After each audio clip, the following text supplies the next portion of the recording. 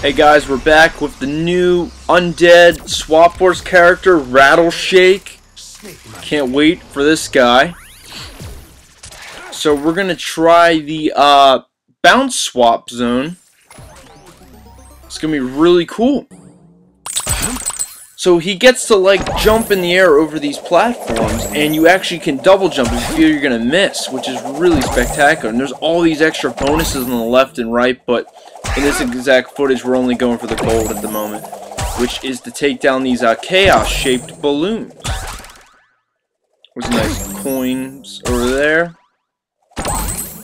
Double jump, can we make it? Ah, yes we did. So hope you guys enjoyed and stay tuned for more. Peace.